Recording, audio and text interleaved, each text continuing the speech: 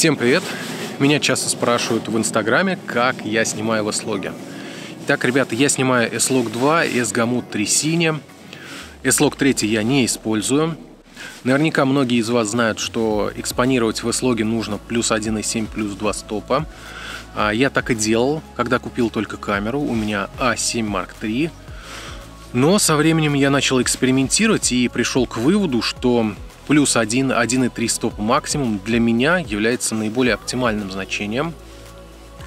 И вот уже более года я снимаю именно с экспозиции 1, 1,3 стопа. Дело в том, что при данном значении картинка имеет более широкий динамический диапазон. Что касается шумов, она не отличается от картинки, которая экспонируется в плюс 2 стопа. Ну и для того, чтобы картинка у нас меньше шумела при слоге, необходимо использовать нативное ISO а, и снимать в 4К, используя полный сенсор. Кроме того, я снимал с более высоким значением ISO. Картинка более-менее адекватная получается. Но уж если у нас совсем такие условия low light, то, конечно, необходимо использовать другие цветовые профили.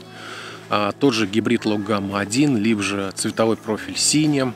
S-Log предназначен для того, чтобы получить а, картинку с большим динамическим диапазоном. То есть это не цветовой профиль, который идет именно для low-light условий. Ребят, также хотел добавить, что прямо сейчас идет скидка 50% на мои луты для S-лога 2.